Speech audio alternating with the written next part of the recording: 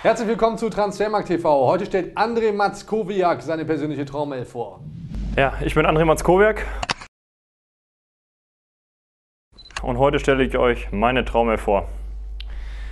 Beginnt natürlich mit mir im Tor.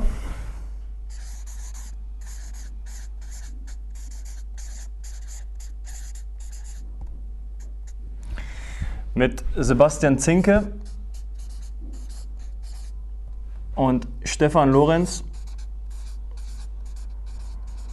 in der Innenverteidigung.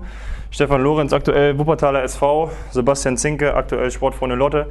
Beides Weggefährten von mir und ähm, ja, gerechtfertigen diese Aufstellung. Auf der linken Abseilseite Dennis Bührer. Zusammengespielt mit ihm bei Rot-Weiß Essen, spielt jetzt in Balingen. Auf der rechten Abwehrseite Marcel Busch, mein alter Fahrkollege aus allen Zeiten. Auf der 6 Ali Bilgin, ebenfalls alter Weggefährte Rot-Weiß Essen, der sich im Zentrum mit Ole Burg, aktuell Wien Wiesbaden, das Zentrum teilt. Dann auf links außen Ferhat Kiskansch, leider im Moment auch vereinslos. Auf der 10 Mike Wunderlich.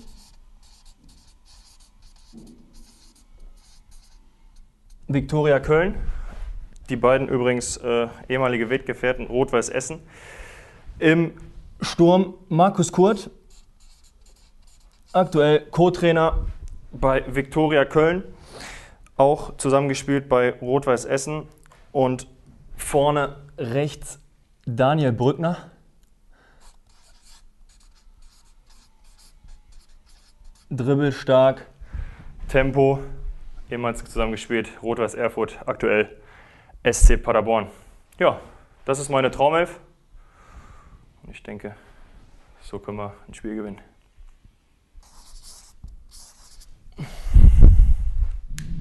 Vielen Dank, André Matzkowiak. Hallo Timo, hallo Sven.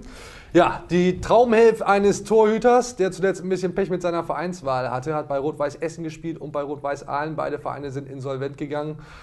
Ja, und jetzt sucht er noch einen Verein. Mit der Mannschaft hätte er durchaus Erfolg, oder?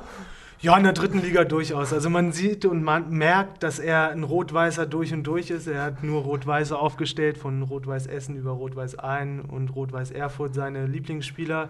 Herauszuheben ist, denke ich mal, Ali Bilgin, der in der Super League spielt und auch Champions League-Erfahrung hat.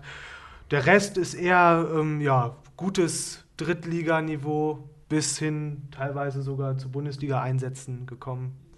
Ist durchaus eine Elf, die sehr, sehr persönlich ist. Von daher immer mal sehenswert. Keine Weltstars, kein Messi, kein Eto, nix dergleichen, Sven, das muss doch ganz genau dein Ding sein. Richtig, super. Super elf, finde ich total klasse. ähm, auch mit den Trikots wird es nicht so schwierig, können halt alle rot-weiß anziehen, das ist ganz gut. Nein, aber es ist wirklich, das sind, äh, da sind teilweise wirklich solide Arbeiter drin, das sind Leute, mit denen er zusammengekickt hat. Ich meine, Marcel Busch oder Nils Ole Bog ähm, hat er zuletzt noch ähm, in Aalen gespielt.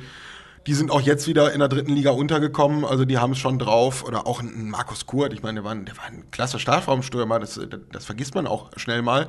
Ähm, das ist schon nicht so schön. Oder auch ein Daniel Brückner, der spielt bei Paderborn äh, eine richtig gute, eine gute Rolle da im linken Mittelfeld.